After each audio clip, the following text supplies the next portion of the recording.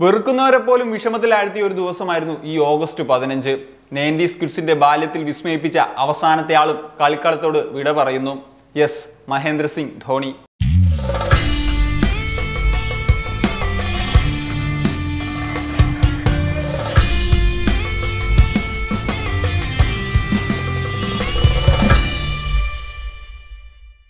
ഇന്നത്തെ വീഡിയോയിൽ നമ്മൾ സംസാരിക്കാൻ പോകുന്നത് മഹേന്ദ്ര സിംഗ് ധോണിയെക്കുറിച്ച് നിങ്ങൾ തീർച്ചയായും അറിഞ്ഞിരിക്കേണ്ട അഞ്ച് ഇൻട്രസ്റ്റിംഗ് ആയിട്ടുള്ള കാര്യങ്ങളാണ്.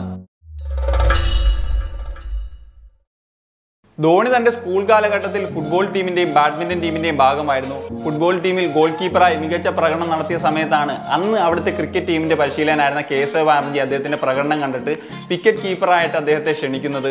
അതായിരുന്നു അദ്ദേഹത്തെ ക്രിക്കറ്റിലേക്ക് വഴിതിരിച്ചു വിട്ടൊരു പ്രധാന സംഭവം. പിന്നീട് ഇന്ത്യയിലെ ഏറ്റവും മികച്ച വിക്കറ്റ് കീപ്പർ ബാറ്റ്സ്മാനായി ധോണി മാറി എന്നത് ചരിത്രം. ധോണിയുടെ അന്താരാഷ്ട്ര കരിയറിലെ അരങ്ങേറ്റം ബംഗ്ലാദേശിൽ വെച്ച് നടന്ന പരമ്പരയിലെ ആദ്യ ഏകദിനത്തിലൂടെയായിരുന്നു ചിറ്റഗോങ്ങിൽ വെച്ച് നടന്ന ആ മത്സരത്തിൽ ഏഴാമനായി ഇറങ്ങിയ ധോണി ആദ്യ ബോളിൽ തന്നെ റണ്ണൌട്ടായി പുറത്താവുകയായിരുന്നു. അതുപോലെ ധോണിയുടെ അന്താരാഷ്ട്ര ക്രിക്കറ്റിലെ ഏറ്റവും അവസാന മത്സരം രണ്ടായിരത്തി പത്തൊമ്പത് ജൂലൈ ഒമ്പതിന് ന്യൂസിലൻഡിനെതിരെ നടന്ന ഐ സി സി ലോകകപ്പിലെ സെമി ഫൈനൽ മത്സരത്തിലൂടെയായിരുന്നു.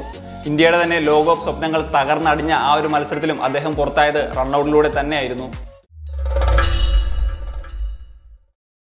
ധോണി ആദ്യമായി ഇന്ത്യയുടെ നായക പദവിയിലേക്ക് എത്തുന്നത് രണ്ടായിരത്തി ഏഴിൽ സൗത്ത് ആഫ്രിക്കയിൽ വെച്ച് നടന്ന ടി ട്വന്റി ലോകകപ്പിലൂടെയായിരുന്നു ആ ലോകകപ്പ് ഇന്ത്യ വിജയിച്ചതോടെ കപിൽ ദേവിന് ശേഷം ലോകകപ്പ് നേടുന്ന ഇന്ത്യൻ നായകനായി മാറാൻ ധോണിക്കായി. മാത്രമല്ല രണ്ടായിരത്തി പതിനൊന്നിലെ ഐ സി സി ലോകകപ്പും രണ്ടായിരത്തി പതിമൂന്നിലെ I C C champions trophy നേടി ഐ സി സിയുടെ മൂന്ന് ടൂർണമെന്റുകളും വിജയിക്കുന്ന ആദ്യ നായകനാകാൻ ധോണിക്കായി. രണ്ടായിരത്തി ഒൻപതിൽ ചരിത്രത്തിൽ ആദ്യമായി ഇന്ത്യയെ ടെസ്റ്റ് റാങ്കിങ്ങിൽ ഒന്നാമതെത്തിച്ചതും ധോണിയായിരുന്നു. ഐ പി എല്ലിൽ നൂറിന് മുകളിൽ വിജയമുള്ള ഏക ക്യാപ്റ്റനും ധോണിയാണ്. എഴുപത്തി ഒന്ന് വിജയങ്ങളുള്ള ഗൗതം ഗംഭീർ ആണ് ഈ ഒരു ലിസ്റ്റിൽ രണ്ടാമതുള്ളത്. ക്യാപ്റ്റൻ എന്ന നിലയിൽ സ്വന്തം ആരാധകരുടെ മാത്രമല്ല എതിരാളികളുടെയും കൈയടി നേടിയെടുത്ത ആളാണ് ധോണി. രണ്ടായിരത്തി പതിനൊന്നിൽ ഇംഗ്ലണ്ടിൽ വെച്ച് നടന്ന ടെസ്റ്റിൽ ഇയാൻ ബെല്ലിന്റെ ഒരു വിവാദപരമായ റണ്ണൌട്ടിനെ തുടർന്ന് അന്നത്തെ ഇംഗ്ലണ്ട് ടീമിന്റെ ക്യാപ്റ്റനായിരുന്ന ആൻഡ്രൂ സ്ട്രോസും അന്നത്തെ ഇംഗ്ലണ്ട് ടീമിന്റെ പരിശീലകനായിരുന്ന ആൻഡി ഫ്ലവറിന്റെയും ഒരു അപേക്ഷയെ തുടർന്ന് ഇയാൻ ബെല്ലിനെ തിരിച്ച് കളിക്കളത്തിലേക്ക് വരാൻ അനുവദിച്ചെന്ന് ഇംഗ്ലണ്ട് ആരാധകർ അദ്ദേഹത്തെ ഒരു സ്റ്റാൻഡിംഗ് ഓവേഷൻ നൽകിയിരുന്നു. ആ സംഭവത്തിന്റെ പേരിൽ രണ്ടായിരത്തി പതിനൊന്നിൽ I C C spirit of cricket അവാർഡും ധോണിക്ക് ലഭിച്ചിരുന്നു. ധോണി അന്താരാഷ്ട്ര ക്രിക്കറ്റിൽ നിന്ന് വിരമിക്കുന്ന സാഹചര്യത്തിലും അദ്ദേഹത്തിന്റെ പേരിൽ ഇപ്പോഴും തകർക്കപ്പെടാനാകാത്ത ചില റെക്കോർഡുകളുണ്ട്. അദ്ദേഹത്തിന്റെ ഒരു വിക്കറ്റ് കീപ്പർ എന്ന നിലയിൽ റെക്കോർഡുകൾ പരിശോധിക്കുമ്പോൾ നൂറ്റി തൊണ്ണൂറ്റി അഞ്ച് സ്റ്റംപിങ്ങുകളുമായി അന്താരാഷ്ട്ര ക്രിക്കറ്റിൽ ഏറ്റവും കൂടുതൽ സ്റ്റംപിങ്ങുകൾ ചെയ്തിട്ടുള്ള വ്യക്തിയാണ് ധോണി.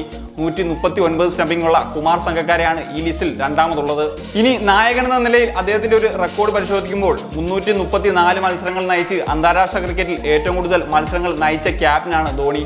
മുന്നൂറ്റി ഇരുപത്തിനാല് മത്സരങ്ങൾ നയിച്ച റിക്കി പോണ്ടിംഗ് ആണ് ഈ ലിസ്റ്റിൽ രണ്ടാമതുള്ളത്. ഇനി ഒരു ബാറ്റ്സ്മാൻ എന്ന നിലയിൽ അദ്ദേഹത്തിന്റെ പേരുള്ള റെക്കോർഡ് ഏകദിന ക്രിക്കറ്റിൽ ഏറ്റവും കൂടുതൽ തവണ നോട്ട് ഔട്ടായി ക്രീസിൽ നിന്ന ബാറ്റ്സ്മാൻ ആണ് ധോണി. എഴുപത്തിരണ്ട് മത്സരങ്ങൾ നോട്ട് ഔട്ടായി നിന്ന ഷോൺ കൊള്ളോക്കാണ് ഈ ലിസ്റ്റിൽ രണ്ടാമതുള്ളത്. ചേസ് ചെയ്യുന്ന സമയത്ത് ധോണി നോട്ട് ഔട്ടായി നിന്ന അൻപത്തി ഒന്ന് കളികളിൽ നാൽപ്പത്തി ഏഴ് കളികളും ഇന്ത്യ വിജയിച്ചിട്ടുണ്ട്.